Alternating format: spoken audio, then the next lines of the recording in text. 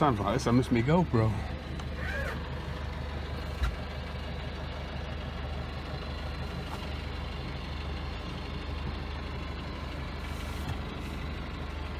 Well, as mornings go, it's it's been dreich.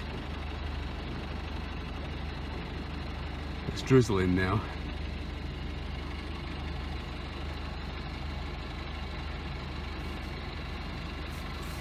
But finally off to sea, three hours late.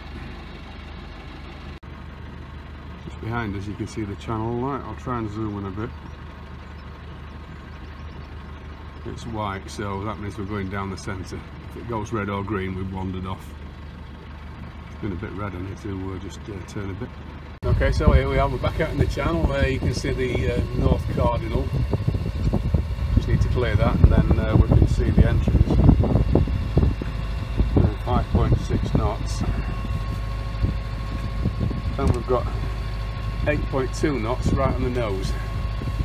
So if you take away the 5.6 that we're doing there's really only 3 knots of wind. We're not going to be doing much sailing today. But fingers crossed when we get out there things will change. Okay the plan to set off at 5 o'clock this morning might have uh, gone out the window a bit. It's 20 to 9 I've missed half the time but looking at this crap out here I'm not really sure I want to go. It's awful. Two fishing boats gone out of me in front of me and two yachts went out before that. I was supposed to have gone with them. I told them not to wait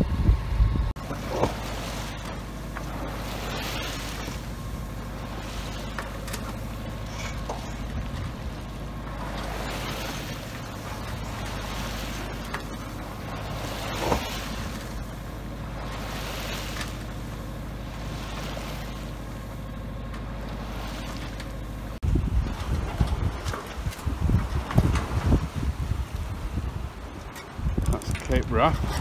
You just see the lighthouse on top of the cliff. If I get the shrouds out of the way.